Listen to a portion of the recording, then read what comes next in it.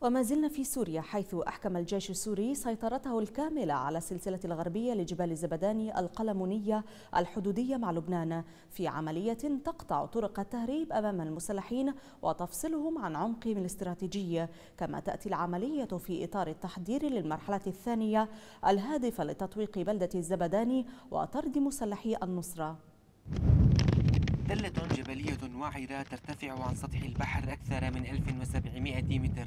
هي النقطة الاستراتيجية الجديدة التي وصل إليها الجيش السوري في محيط مدينة الزبداني غرب العاصمة. ليعلن بذلك إكمال سيطرته على سلسلة جبال لبنان الغربية الفاصلة بين الحدود السورية والحدود اللبنانية. أحكمت وحدات من قواتنا المسلحة سيطرتها الكاملة على عدد من النقاط والتلال الحاكمة وهي شير الطاقة شير الجوبة قصر النمرود. كما تتابع القوات تقدمها باتجاه أوكار المجموعات الإرهابية في ظهرة الهوى وظهرة البيدر وشير الهوى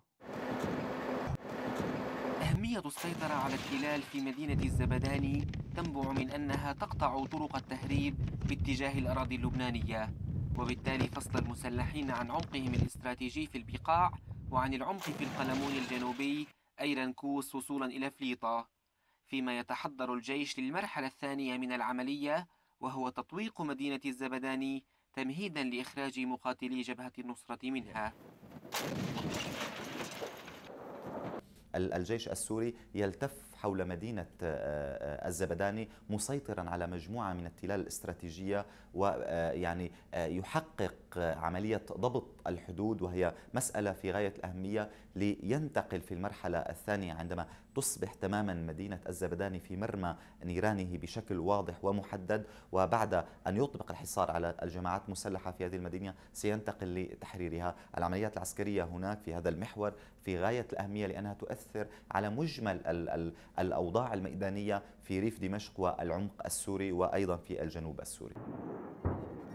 يتجه الجيش لفرض سيطرته الكاملة على تلة ظهر البيدر الكاشفة لمدينة الزبداني بشكل كامل من ناحية والمطلة على الحدود السورية اللبنانية بشكل مباشر من ناحية ثانية. فيما أمنت سيطرة الجيش نقاط العبور الحدودية رغم الطبيعة الجغرافية الوعرة لمنطقة القلمون الجنوبي.